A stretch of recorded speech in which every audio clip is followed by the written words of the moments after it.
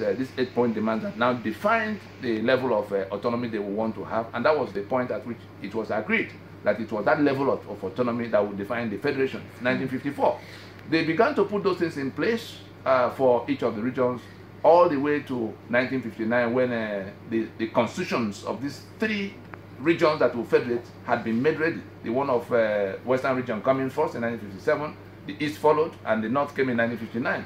They went to Lancaster House and decided what parts of their powers they will, you know, uh, uh, delegate, they will uh, uh, more or less uh, surrender for a central authority.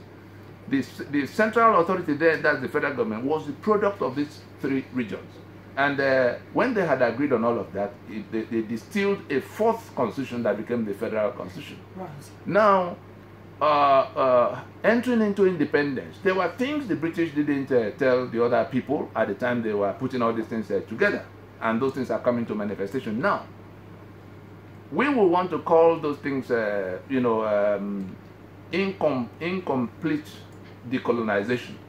Because what happened in 1960 was for the southern Nigeria, uh, transition from external colonialism to internal colonialism because the British left structures that made it uh, uh, made the control of the union permanent in the hands of their joint venture partners from the northern part.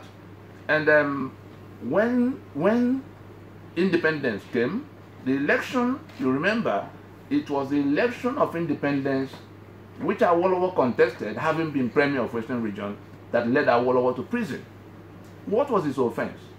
These manipulations that the British did at the time they were putting the union together began to manifest.